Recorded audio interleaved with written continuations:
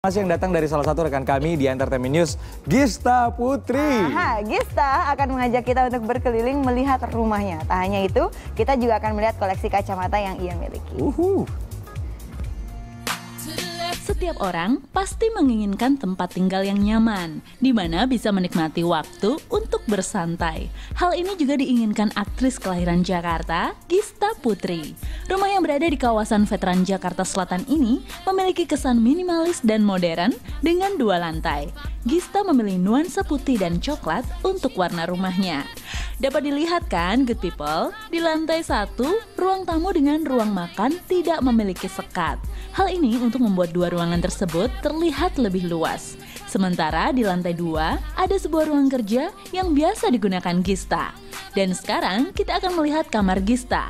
Jika biasanya kamar wanita berwarna-warni, beda halnya dengan kamar Gista. Ia memilih warna putih untuk dindingnya dan lantai kayu berwarna coklat untuk membuat kesan natural and simple.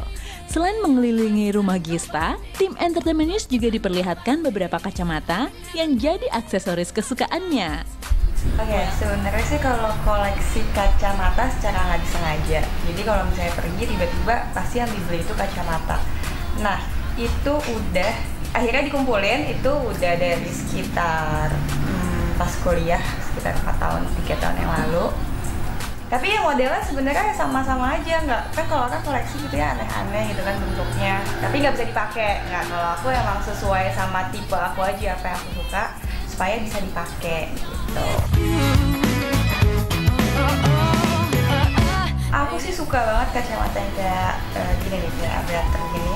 Lihat deh rata-rata semuanya sama sebenarnya. Tuh, nggak ada yang aneh-aneh.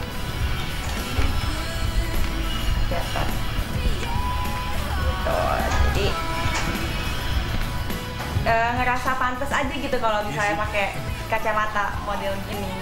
Ngerasa pantas aja. Jadi nggak pernah macem-macem koleksinya gitu. Cuman dikumpulin aja lah lumayan buat kalau misalnya uh, ngelihat barang-barang ih banyak juga ya gitu. paling jauh aku beli kacamata hmm, aku lupa ini sih ini di Hongkong bahkan ah ini yang yang rada-rada aneh sedikit biasanya aku uh, online shop browsing sih.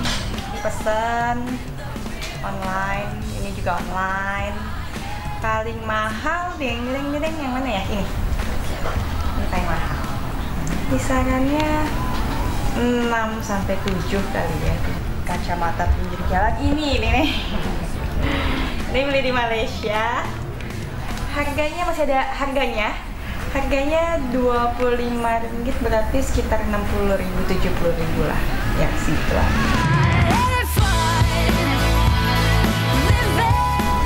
sekitar 20-an. Yang kenapa aku milih yang gini-gini? Gini. Karena ini menurut aku modelnya tuh klasik dari zaman dulu sampai zaman sekarang pasti orang masih make dan kebanyakan orang cocok pakai model kayak gini. Well, bagaimana good people? Seru bukan berkunjung ke rumah Gista Putri? Terima kasih Gista, kita sudah diajak bermain ke rumahnya dan juga sudah diperlihatkan koleksi kacamata yang begitu banyak ya. Bagi satu. Oke, semoga bisa nambah nanti. Oke.